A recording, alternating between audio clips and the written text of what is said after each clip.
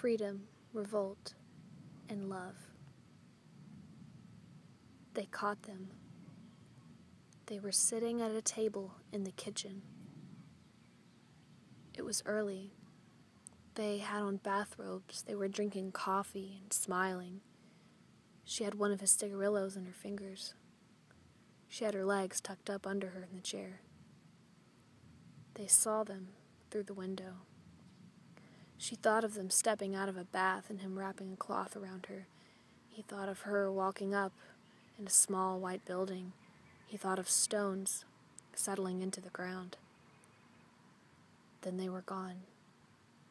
Then they came in through the back. Her cat ran out. The house was near the road. She didn't like the cat going out. They stayed at the table. The others were out of breath. The man and the woman reached across the table. They were afraid. They smiled. The other poured themselves the last of the coffee, burning their tongues. The man and the woman looked at them. They didn't say anything.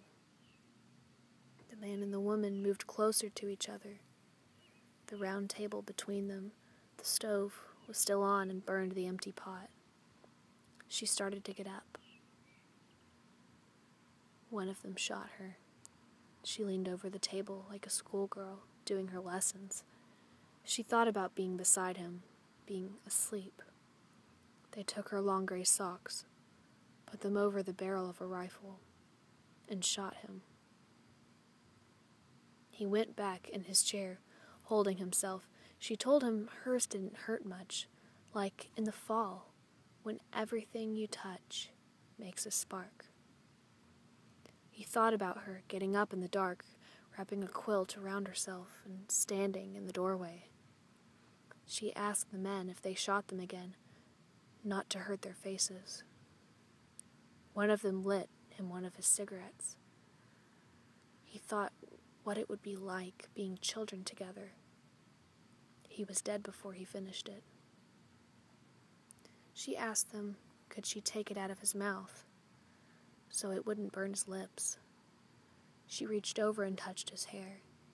She thought about him, walking through the dark, singing. She died on the table like that, smoke coming out of his mouth.